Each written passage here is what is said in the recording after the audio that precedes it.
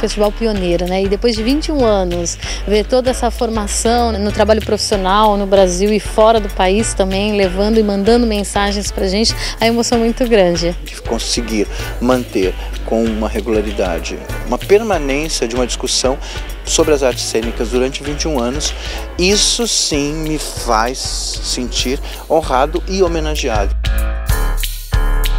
É um movimento maravilhoso de artes cênicas e trazem essas histórias pra gente. Então é um espetáculo lindíssimo. O público santista é muito receptivo e pra gente é, é sempre um grande prazer. Nós temos essa programação por todos os cantos, Teatro Municipal Brás Cubas, Teatro Guarani, aqui na Concha Acústica, no Sesc Santos. São mais de 80 cenas competitivas, fora os espetáculos, e o pessoal encontra toda a informação no site f7.com.br.